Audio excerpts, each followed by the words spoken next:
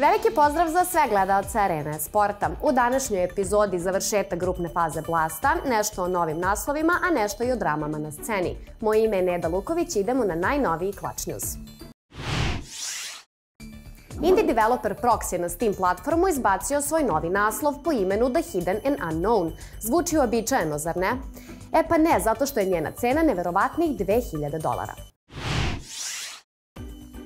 Video igra The Hidden and Unknown po ceni od skoro 2000 dolara postala je dostupna 23. januara, dok jedine dve recenzije koje ima kažu da vredi svih para. Kako sam developer Prox kaže, ta cena im se činila pravom i stoje iza svoje odluke. Ipak, budući da je za premotavanje cele igre potrebno otprilike 2 sata, ostavili su i opciju da se njena kupovina može refundirati nakon igranja, čisto da se igrači ne bi osjećali prevareno zbog količine kontenta uparene sa enormnom cenom. U ostalom, vrlo je moguće kako je dezignirana cena zapravo deo marketing plana. Budući da je u pitanju indie naslov, moglo se očekivati da ne okrene puno glava za sobom. Ovako, sigurno će napraviti nešto veći talas. A ako im to i nije bio plan, ipak je uspeo. Sama igra opisana je kao jedna bazirana na priči, a tiče se tematike psihologije i filozofije.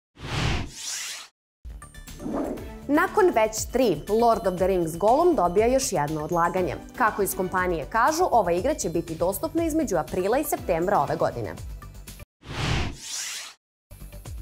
Ukoliko niste upoznati sa samom igrom Lord of the Rings Gollum, ova akcijona avantura iz trećeg lica daće vam mogućnost da kontrolišete jednog od najpoznatijih, ali ujedno i najnestandardnijih likova iz srednje zemlje. Vreme u kojem će se radnja odvijati pokriva period između Hobita i Družine prstena. Čini se da je stealth usko vezana mehanika za ovu igru. U traileru smo mogli da vidimo kako Gollum tumara po senkama, krije se u žbunju i pokušava da izbegne nesumnjivo jače protivnike nego što je on sam. Cilj je naravno naći prsten prsten moći. Biće zanimljivo, to je nesumnjivo, ali ćemo još malo morati da se strpimo. Partnerstvo između kompanija Blizzard i NetEase došlo je do svog okončanja. To znači da ljudi u Kini više neće imati pristup Blizzardovim naslovima. Prekid saradnje kineske kompanije NetEase i Blizzarda znači da kineski gejmeri više neće imati pristup naslovima poput World of Warcrafta, Hearthstona i Overwatcha. Kineski zakon ne dozvoljava inostranim igrama da na tom tržištu nastupe samostalno, te je partnerstvo za Blizzard bio imperativ da učini upravo to. Partnerstvo dve kompanije trajalo je 14 godina, a razlog prekida saradnje jeste nemogućnost dve strane da dogovore situaciju koja će obe učiniti zadovoljnim. Uz to, Blizzard nije uspeo da se nagodi ni sa jednim drugim kineskim distributerom videoigara igara. Potencijalni saradnik mogao bi da bude Tencent. Međutim, ova kompanija već ima naslov koji je izgrađen po ugledu na World of Warcraft, te je nezamislivo da Blizzard sa njima postigne bilo kakav dogovor. Blizzardova budućnost u Kini ne vidi svetlo na kraju tunela, barem ne za sada. Senator Sjedinjenih američkih država Josh Hawley izjavio je kako će TikTok aplikacija biti banovana na području SAD-a.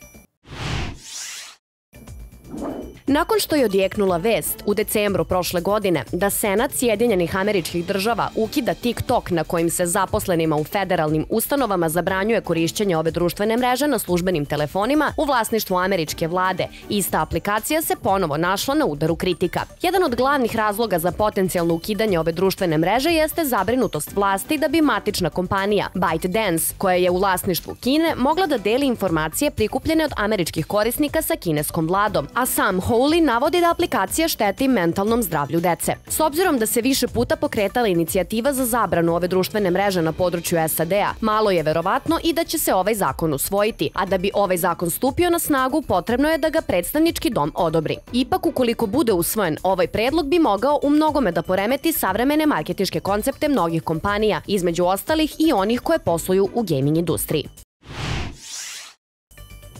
Nastavak drame između kompanije Riot Games i hakera. Nakon upada u njihove sisteme, Riot Games se ne predaje i uzvraća udarac.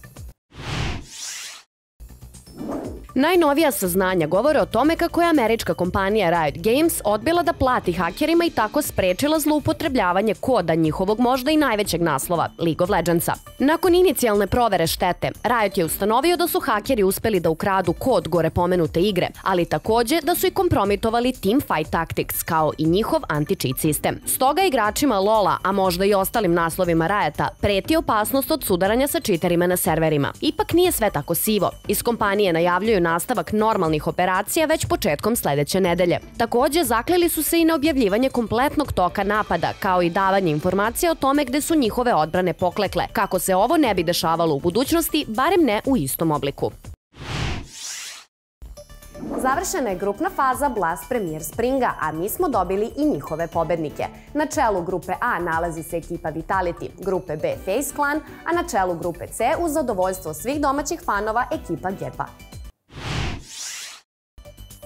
Najpre, treća mesta u grupama pripala su EG-u i Liquidu, nakon što su preko njih i to rezultatima 2-1 do grupnih finala stigli Heroic i OG. Narednog dana, tačnije u sredu 25. januara, NIP biva zbačen na treće mesto grupe C od strane Navija, a u finalu grupe A je Vitality bio bolji od Heroika. Oba meča otišla su u sve tri mape i ovoga dana. Juče, 26. januara, odigrala su se finala grupa B i C. Najpre je FaZe na miražu protiv OG-a jedva uspeo da obezbedi situaciju u kojoj svih 30 rundi ne vodi do produžetaka. Nakon tih 16-14 usledio je OG-ev Ancient i dobar start Nexine ekipe od 4-0. Ipak FaZe završava half sa 11 vezanih rundi i do kraja meča dopuštaju protivnicima još samo dve. U finalu grupe C dobili smo još jedan revanš i još jednom isti epilog. G2 ubedljiv protiv Navija rezultatom 2-0, dok je Niko bio najbolji pojedinac sa rejtingom od 1.61. U knockout fazi danas se sastaju Complexity i EG. Duel čiji pobednik sutra ide na Navi u borbi za spring finale, a potom i Big i Liquid koje OG čeka u meču istog uloga. Sutra pratimo skandinavski duel Astralisa i Nipa, a potom i taj Navi meč. Vreme početka je kao i do sada.